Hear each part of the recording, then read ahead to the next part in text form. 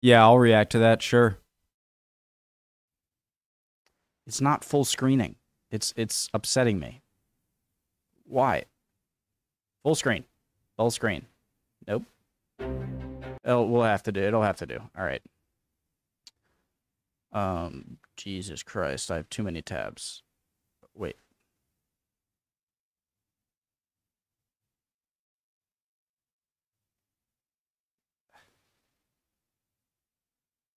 All right, let's go. Ready?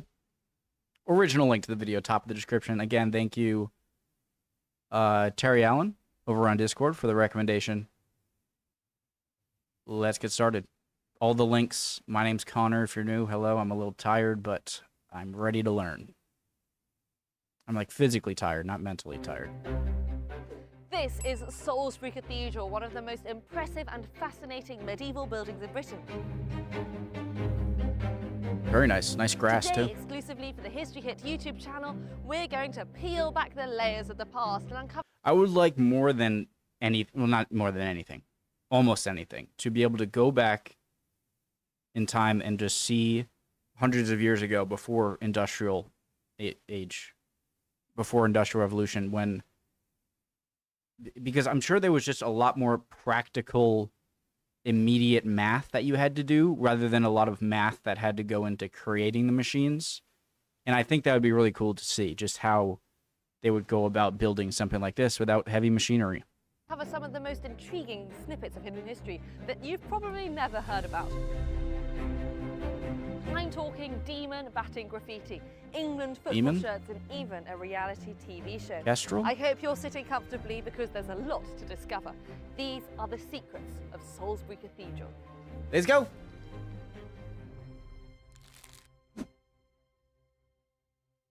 She's great too, Alice. She's no Dan Snow, but she she's great. So here we are, one of the greatest architectural marvels in Britain, and a building steeped in 800 years of history.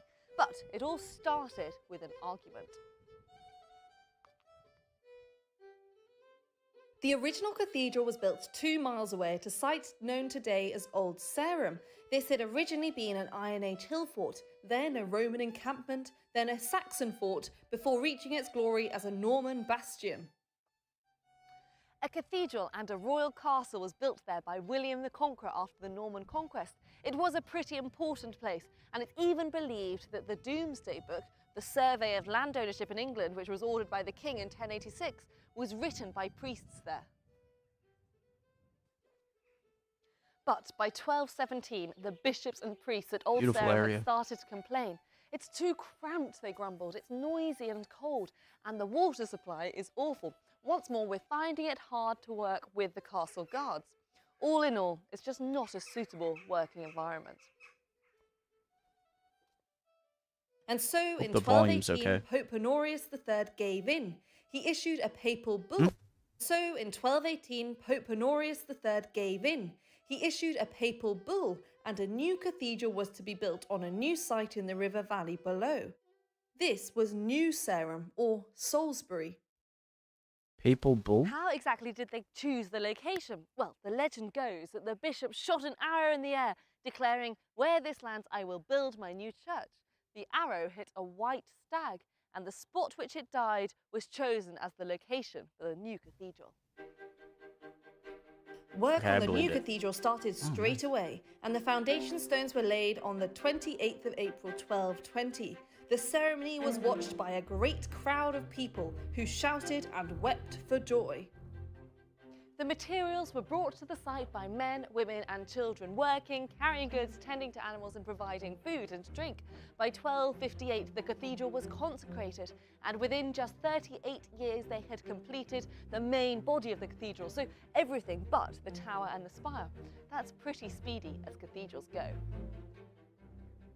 Because this first stage was completed, I have an idea.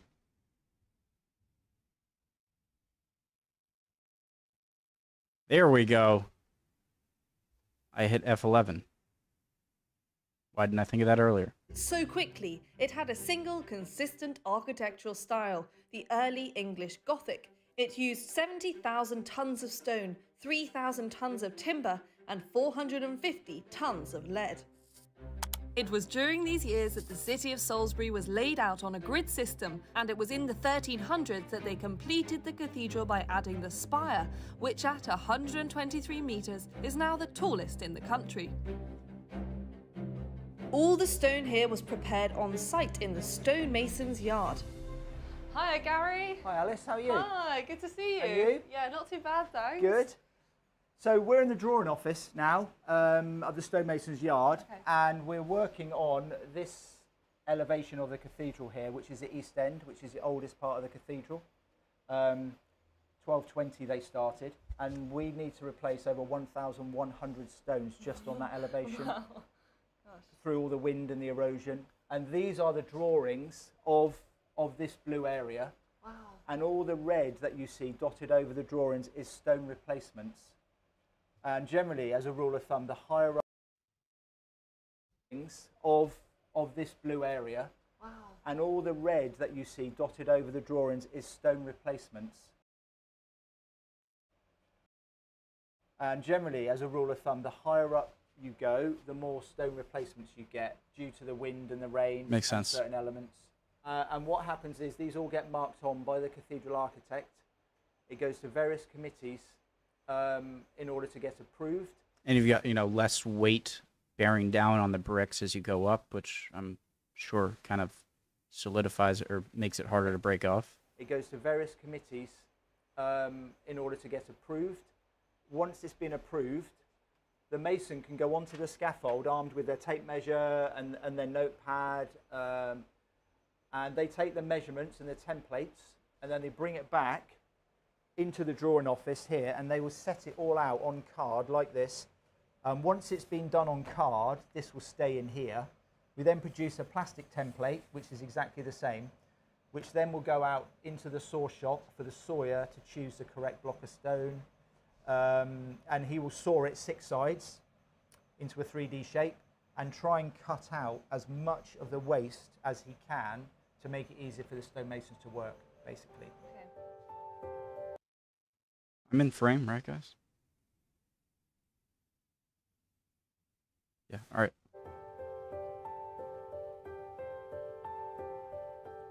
So what's this wall then here? It's called the inspiration wall, Okay.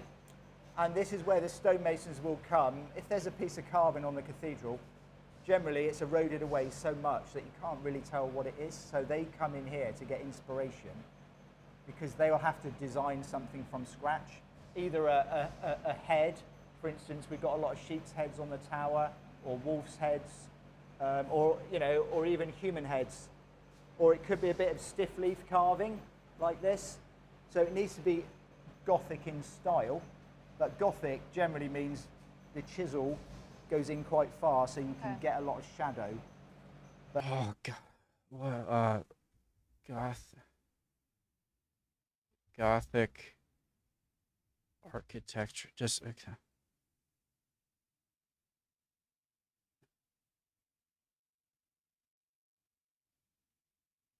Right, but okay. Imposing style of medieval European architecture that developed okay. So just imposing, long pointed arches. So Gothic is just kind of like grand, very purposefully imposing kind of structures. Okay. Okay, okay, okay. How do I get back? Great. Good.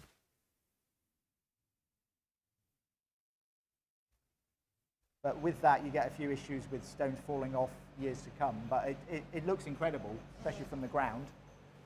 Amazing. So we're in the banker shop now. It's quite loud because we've got an extraction system on, which Okay. sucks the fine dust out, out of the end of the chisels. Bad for your can lungs or something? Oh yeah, going up here. Yeah. So this is Joe. He's our he's our new apprentice, and what he's doing as one of his tasks, he's working a block by hand using the traditional tech technique, and it is a lot harder than you think because that that surface needs to be completely flat. I, I can tell it it's difficult because I can't really understand even what he's trying to hit and because he, he just has it so down.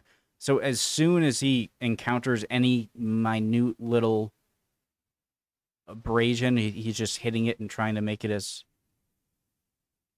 How old is sandpaper? Well, you can't. wait, that, never mind. That surface needs to be completely flat. Yeah, you're not. So if it's not, you need to take What it am I talking again about? and again. So basically, masonry is flat surfaces and chamfers if you break it down, and, and then you add all the other bits later. This is Carol, uh, and Carol's working a lower weathering stone on the cathedral. And she's not using a, a mallet at the moment. She's using what they call a metal dummy. Uh, it, it's a bit more responsive, metal on metal, um, and she's using a gouge. So all of these chisels, really, they're kind of how what the medieval masons used to use. Nothing much has changed, apart from yeah, feel, just feel the weight of that, Yeah, it's and heavy, isn't it? feel how sharp it is. It is extremely sharp.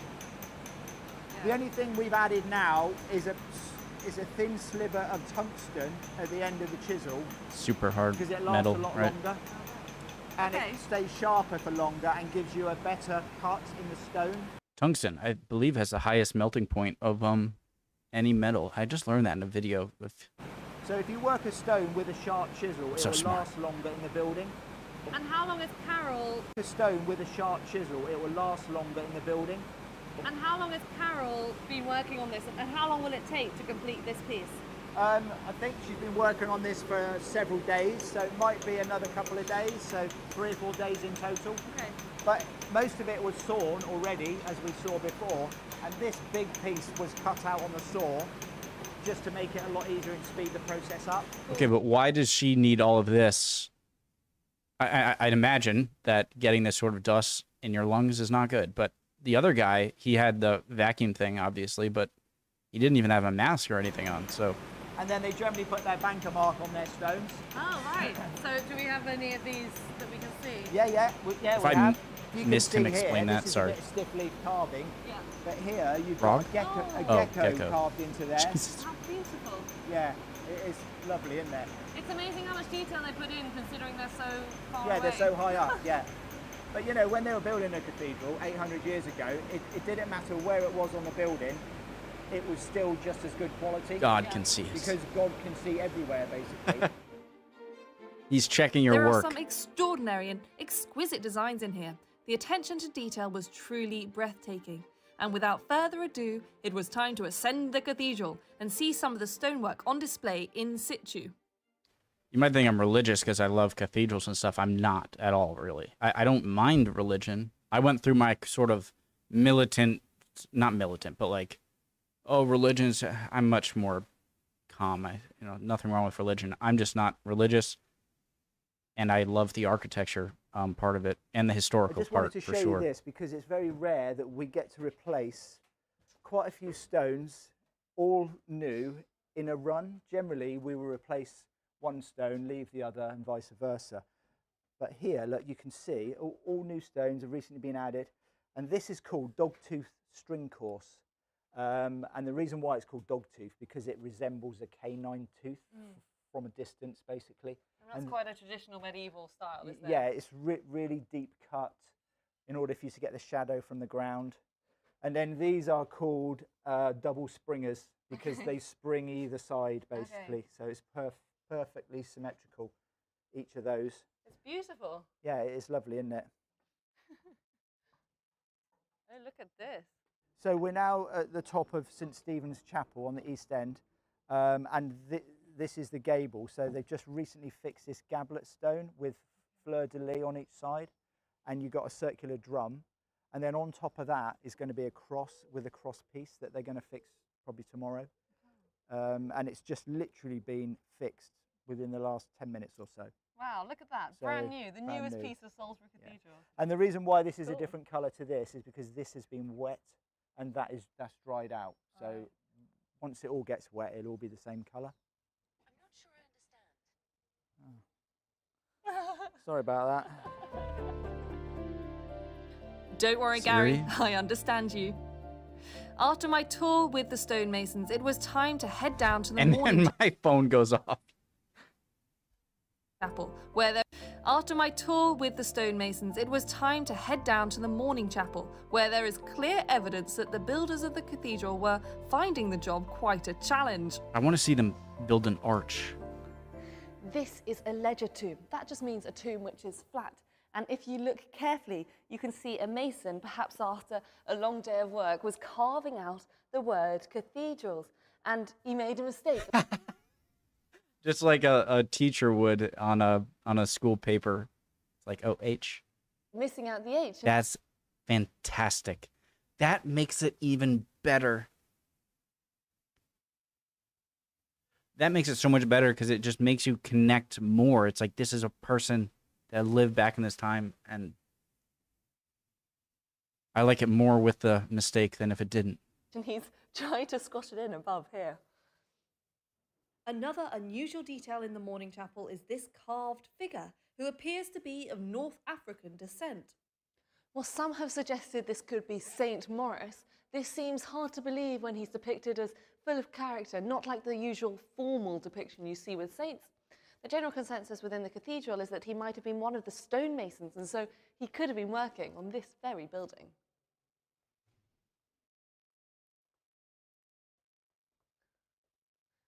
This is a chantry chapel. Chantry chapels were mostly built from the 1300 to the 1530s. It was a place to chant or sing prayers to God for a dead person's soul. Originally, this would have been decorated with bright colours and all sorts of statues. It would have been a beautiful space. My favourite detail is this carved butterfly above the entrance. We have no idea why it's there though.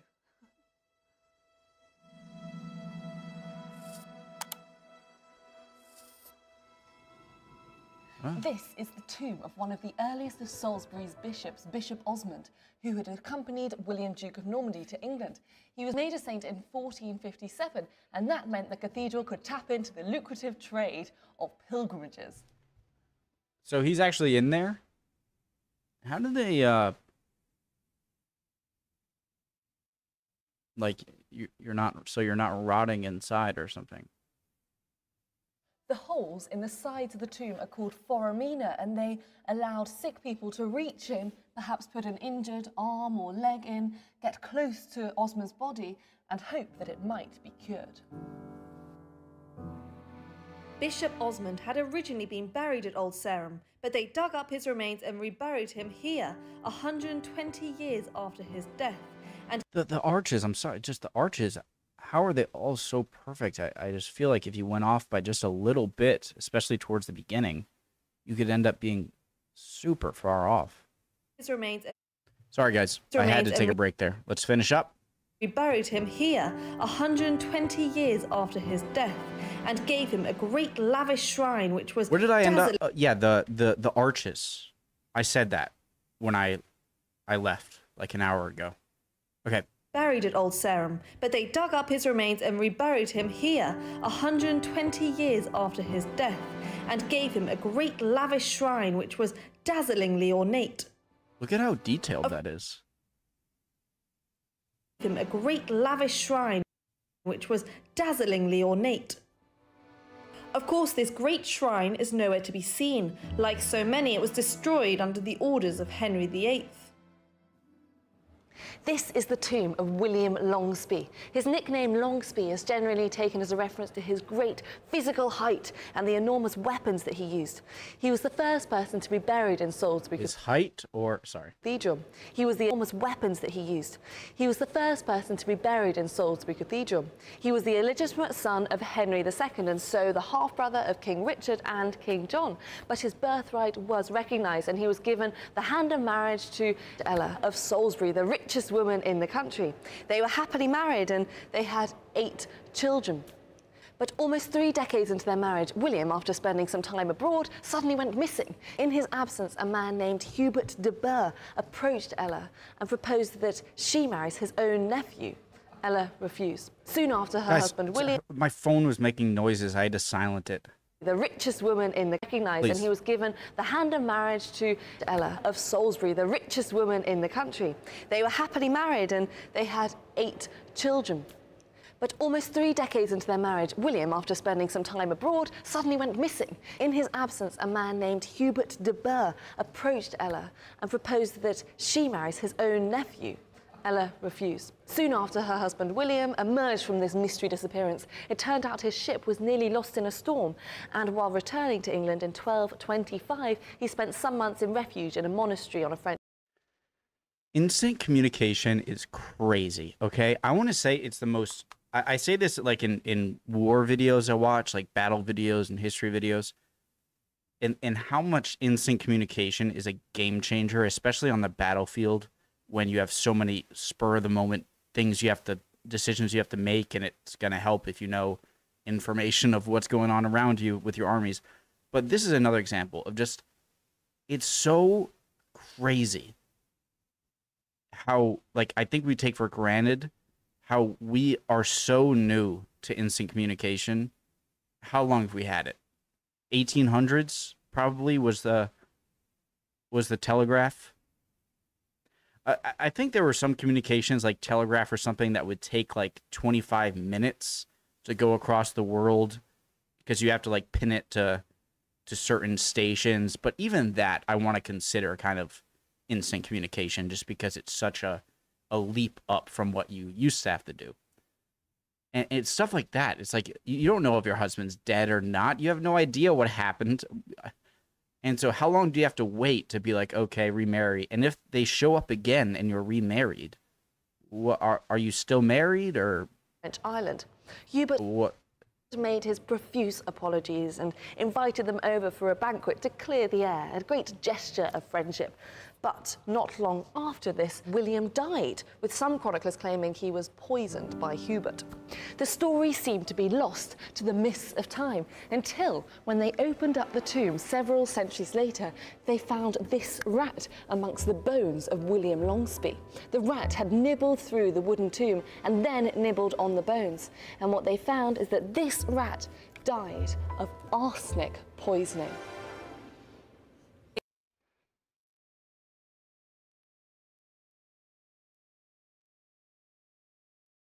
How did they know that? Wait, It's Through the wooden tomb. wait, when?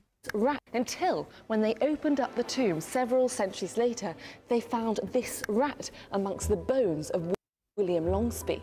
The rat had nibbled through the wooden tomb and then nibbled on the bones. And what they found is that this rat died of arsenic poisoning. I don't want to take that as for sure he was murdered because I don't know the methods of determining. Oh. Uh. It's a murder mystery worthy of any Agatha Christie novel. And there are plenty more weird and wonderful delights in Salisbury Cathedral, too. This is the bumping stone when a new chorister It was joins basically like, "Oh, marry me." It's like, "Oh, he made it back." It's like, "Oh, marry me. Your husband's gone." No, I'm not going to. Oh, he made it back. Oh, great. Let's make up. Come over here, and then just drop a little. Okay, it's a nice story, but I just I hate sugarcoating. I'm not just going to accept an interesting story because it sounds interesting. I just want to know what happened.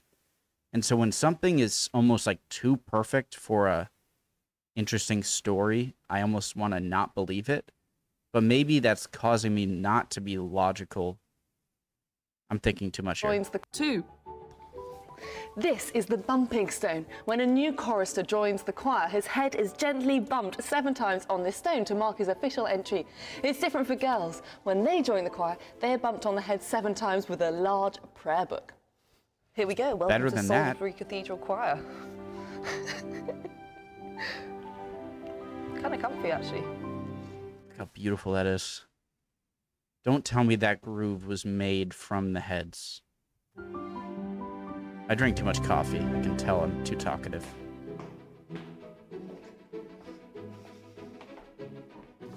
In 1445, it was decided that the priests needed a dedicated space for serious study, and so a library and lecture room were built above the cloisters. In the library, the books were chained to the shelves to stop them being borrowed. In the library today, there are around 12,000 books, including some of which that date back to the 9th century, which were written in the original cathedral of Old Sarum. This is one of my favourite books in the library. It's the Theatrum Botanicum, which was by John Parkinson. And he was pretty well connected at the time. He became the apothecary to James I and the botanist to Charles I. And this book is just full of these incredible illustrations. I love this page. The common mugwort. Here's the small mugwort. the fruitful mugwort. Useful. As I have a super old book, I think it's a Bible uh, from, and it's written on it Leicester, England, and I think that's from my great great, or my my, no, but I opened it and it has a fern leaf in it that looks super old. The cathedral Probably has thousands. you. Life explorations of David, of Doctor Livingstone.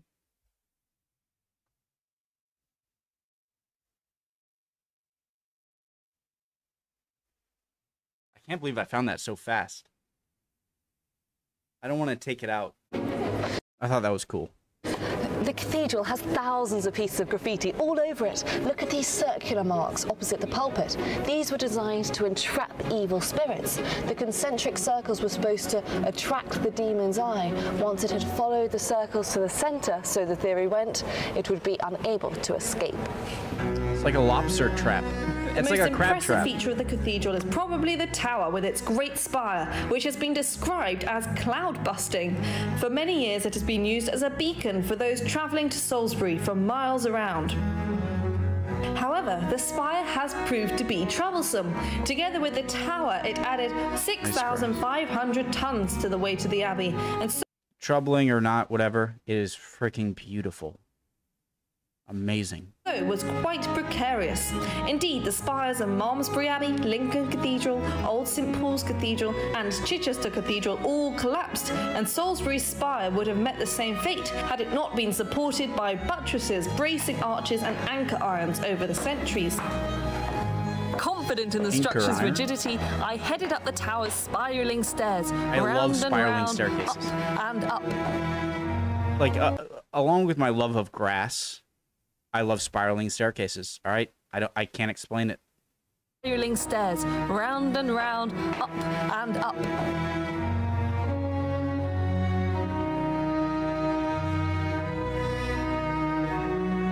And look at this detail on the west window. These stained glass shields date from the 13th century. This one bears the coat of arms of Fleur de lis. Eleanor of Provence. This one shows the French fleur de lis, and this one shows the coat of arms of King Henry III. You might recognise it because these are the three lions of the England football shirts. rooney These Where's are his head? put log holes, literally for putting logs in. They're kind of remnants of the medieval scaffolding, and there used to be beams that would be in here. And you can even see there are some beams that have been left in place. In 1668, Christopher Wren visited the cathedral to inspect the roof and see how it might be strengthened. He recommended, we think, some of these diagonal beams, and these were actually taken from ships' masts cut in two. This is the clock chamber, and it's a real hodgepodge of supports and beams which are trying to strengthen this lower part of the tower over the years. We've got a mixture of Victorian and medieval and ones from all parts of history. And you can see there's a lot of tension in this room. Here are some ties which were put in by Christopher Wren, and this one here is bent under the pressure, and there's even one in this corner which has snapped completely. And up I climbed once again, around these great set of wooden spiraling stairs, up to the bell chamber. Now, up here in the bell chamber is quite a remarkable piece of graffiti. It's 1864. from William Jerrod, who was up here collecting birds' eggs for his dinner. But something went wrong, and he's recorded it here. It reads William Jerrod fell from this pier, spelt pear, on the 29th day of March, 1864 AD. But he was fine, he survived the mishap. Luckily, he was wearing a cloak and it got caught on one of the cathedral pinnacles, and he was left hanging to be rescued. like neville longbottom in harry potter oh my god i love this like i, I love this for the same reason i would just love any um stonework or being able to just touch any part of the cathedral and that people were once touching this in real time back then making the uh the cathedral or whatever building or monument whatever they're they're making and this is just a more obvious form of just how i can just imagine someone back in 1864 just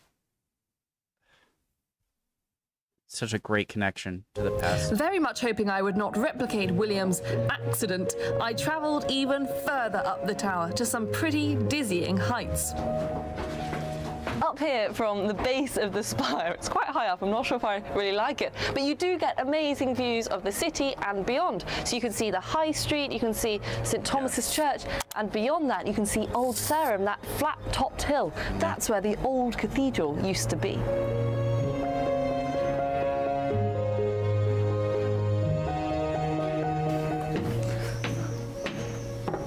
Oh, look at this.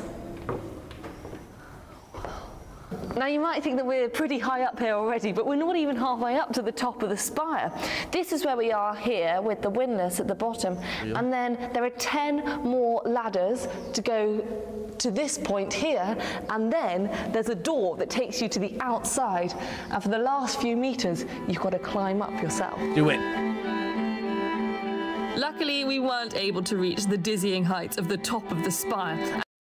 And I was quite relieved when we finally returned I- Is that where you get can exit out right there and then back to ground level. where's Fred Dibnah And when you you need him? stand beneath the spire and look up at the supporting pillars, you'll notice they actually curve under the weight above. Supports were added, of course, which meant it hasn't actually collapsed yet. It wasn't just the spire which has been the source of architectural angst. The cathedral has foundations that are only four feet deep. It's built on the gravel floodplain of the River Avon, the watery base holding everything in place. What? If this base dries out, the whole church will come tumbling down. I, I so thought dry. I thought it would be the opposite. That that as it's more wet soil, it would. Every day somebody comes here, lifts this small stone in the nave and sticks this long dipping stick into the foundations to make sure there's still water beneath. Now, normally this is done by a cathedral guide, but I've got special permission today to just give it a wiggle. I'm so caught up. My intuition tells me, and who's this? I'm not saying my intuition is the most reliable, but that this would be the opposite of good. And then out it comes. And look, there's the water line, which means we're still safe. Phew. You guys know how they would test depths in ships back in the day by like having a bunch of ropes on a separated, equally separated knots on a rope, and they would toss it down um to see if they were getting close to like dangerous areas. But how would you? How do they? Because as the boat is moving and you're trying to measure it, then the rope is going to s- kind of sling diagonally. Um, I was thinking about this the other day. Because of these foundations, there's no crypt in Salisbury Cathedral and no burials under the floor either. So, why are there tombstones here on the ground? Well, for hundreds of years they buried the dead outside in a graveyard, but in the 1780s, when funds were low and they needed to patch up the floor, they simply borrowed a few from outside. This octagonal room with its slender central pillar is the chapter house. It's got an amazing medieval frieze showing stories from the books of Genesis and Exodus, including Adam and Eve, Noah, the Tower of Babel, and Abraham, Isaac, and Jacob. I know. Uh, I'm sure people kind of get tired of like foreigners talking about England and being like, "This reminds me of Harry Potter," but I so have wanted to say this reminds me of Harry Potter throughout this video. I just didn't want to because there's so much stuff that's amazing already, and to just be like, "Oh, it's like Harry Potter," probably a bit annoying. But man, it's like Harry Potter. It looks like it. In the centre is the bishop's seat, and they put on display here the mitre, that's the hat, and the crook, this stick which is still used as part of the bishop's official dress. A crook is used by shepherds to herd sheep and refers to a bishop's role in leading the faithful, following the model of Jesus. But what I love here is this three-faced figure. This might have represented the Trinity or suggested that the bishop was an all-seeing figure. And behind this curtain is perhaps the most important historical document in British history. It is Magna Magna, Carta? Carta, Latin for the Great Charter. Only four copies of Magna Carta dating from 1215 have survived the ravages of time, and the one in Salisbury is the best preserved. Wow. Magna Carta is a charter of rights which was agreed by King John in 1215, and it marked the first time there had been an attempt to officially limit the powers of the king. Which means that the Magna Carta and limiting the powers of the king came extremely early on in uh, well the history of England, which you know 1066 is what we. It was so significant, it's played start? an important role in British and international human rights ever since. I know there were kings It was before written that, in medieval that- Latin and they used quill pens on sheets of parchment made from sheepskin. In some of the later versions, they have a great royal seal, which was added by an official called a spigurnel. Who All right, let me take that back. I know England, you know, can have kings, and the history stretches back further back from 1066. I, I I know that. made the seal using a special seal press using beeswax and resin.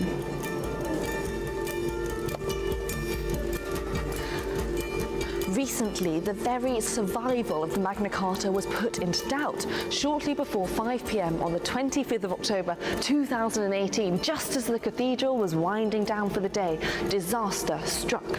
A man wielding a hammer made his way to the Magna Carta and began smashing the glass case. The arms went off, surrounding around the whole cathedral. The man was wrestled to the ground and the cathedral was evacuated. Who was it? What did they do to him? Hopefully, Luckily, the cathedral's Sorry. security system stood up to the test and the precious document remained unharmed. what was his point? What was the point he was trying to make? That he wants a more absolute monarchy of prior to the 13th century? What was his point? Or did he just want to destroy English history? And if that's the case, leave him to me. Now, there is absolutely no excuse to be late for anything here, for Salisbury Cathedral has the oldest working mechanical clock in the world. This was made in 1386, and incredibly, it still works. Where's the clock face? I know you're thinking. Well, it doesn't have one. In fact, this wasn't even used to tell the time. This was to tell you the hours of prayer, and it would tell you this by ringing out on the hour. The mechanism oh. here is driven by falling weights, which have to be wound up once a day. It was in operation until 1884, when it was placed in storage and forgotten, until someone found it in an attic in 1928, and they finally got it going again in the 50s. To date, it has ticked more than 5 billion times. Of course, the English Civil War left its mark here too. In 1644, the cathedral was plundered by a parliamentarian force and its plate investments sent to London to be shown before the House of Commons. The heaviest fighting in the city was towards the end of the war in 1644 and 1645, when the parliamentarians barricaded themselves into the belfry. The royalists set fire to the door and smoked them out, and there were Dutch prisoners here in the cloisters who made a real mess of the place, breaking windows and damaging the pillars. By 1653, the mayor of Salisbury was so fed up of dealing with this mess, he wrote to the government to ask them for their removal. So it was probably one of those pesky Dutch prisoners, perhaps yearning for his own cat at home, who made this little sketch. But despite this, the cathedral stayed intact. This was because the local gentry, who so loved the cathedral and hated to see the damage, secretly employed workmen to repair it. When asked who paid them, the workman answered, They who employ us will pay us. Trouble yourself not to inquire who they are, whosoever they be, they desire not to have their names known. None of your business. I'm not going to tell you, basically. Cryptic. I hate additional words that are unnecessary, even if it's back in the time.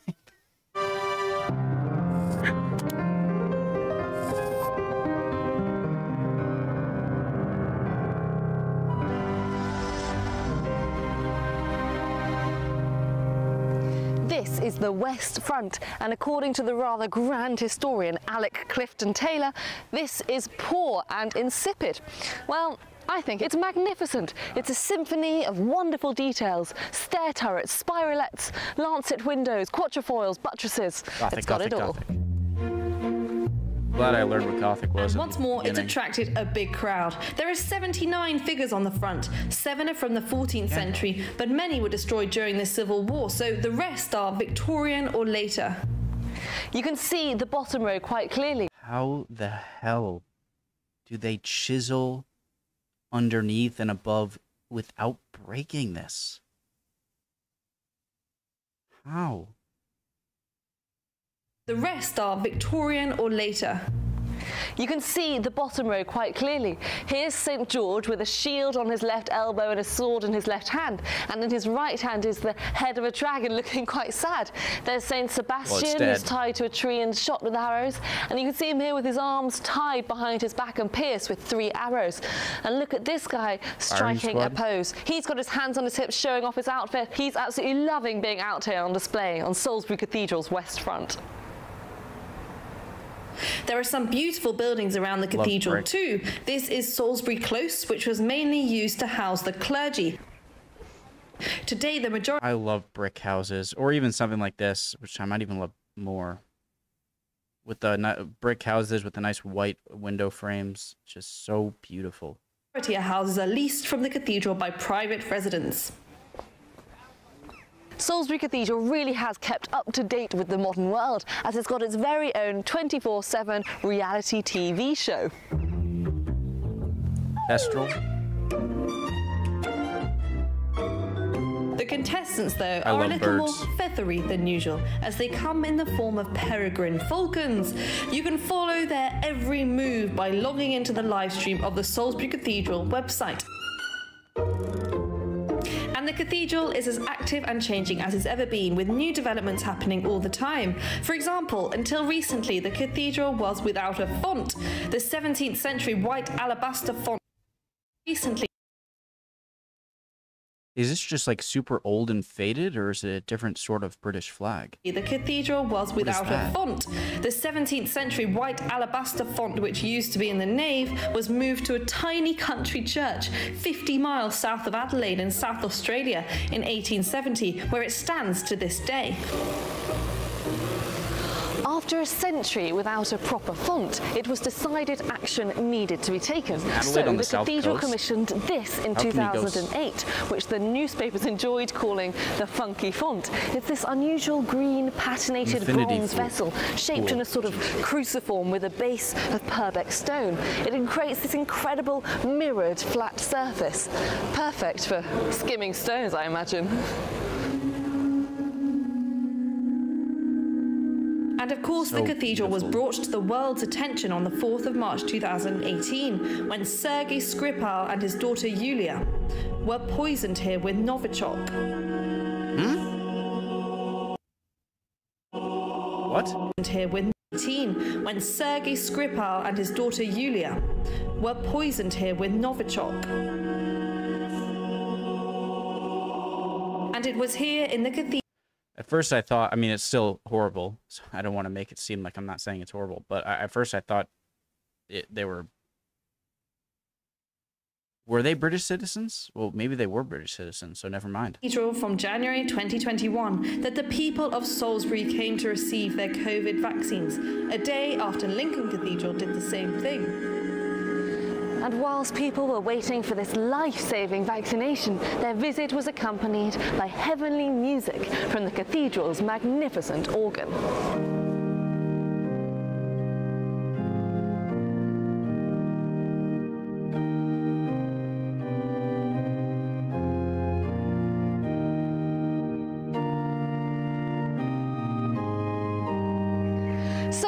There you have it, the history of Salisbury Cathedral in a nutshell. It's one of the most fascinating places for any history fan to visit, so make sure you put it on your bucket list. And if you enjoyed this video, click subscribe so you don't miss the next one. See you next time! Yeah, even if it, uh, if I didn't know anything about history, which I'm still learning English history, just architecture and just feel of of this place, I'm sure would be incredibly enjoyable to to see uh, in person. I was much too talkative on my second half of the video, guys. Sorry about that. Um, love y'all. Hope you guys are all doing well. Would appreciate any comments below. Would love for you to like and subscribe, completely free. And hopefully, I'll see you guys next video. Bye.